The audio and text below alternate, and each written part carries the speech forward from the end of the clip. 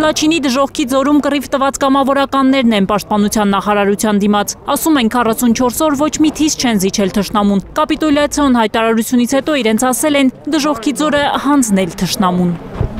Հուսահատ Հայաստան վերադառնալուց հետո իմացել են, որ Արցախ կամավոր մեկնածներին կառավարությունը փոխհատուցում է տալիս։ Իրենց ծանոթներից շատերը ստացել են փողը։ Իրենք դեռ ոչ մի կոպեկի երես չեն տեսել։ Մենք կամավոր ենք, մեզ հետ չի աշխատավարձ ենք ստանալու թե չէ, բայց մեզ եթե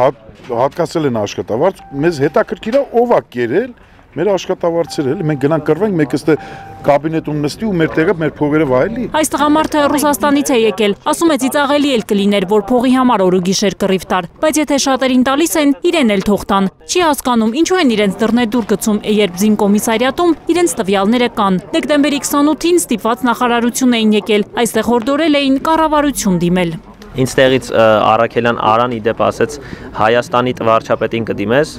Ես է գնացել եմ, որ դիմեմ իմ Հայաստանի վարչապետին։ Հիմա չգիտեմ զեկուցել են թե ոչ։ Հանդիպել էին վարչապետի օգնական Նաիրի Սարգսյանին, խոստացել էր արագ լուծել խնդիրը։ Մենք երևի երկու օրը մեկ գնում ենք բանկերը, ոչ մի տեղից փոխանցում չկա, ոչ մեկ ստույգ պատասխան չի հնչեցրել դեռևս։ Հիմա ուզում ենք պաշտպանության նախարարը գոնե մեզ ստույգ պատասխան տա, հասկանանք էլի ինչու՞մն է խնդիրը, ինչու մեր գումարները չեն փոխհատուցել։ Ես երեք երեխա ունեմ անչափահաս, ես եմ նայողը ես այդ երեխեքին չեմ կարող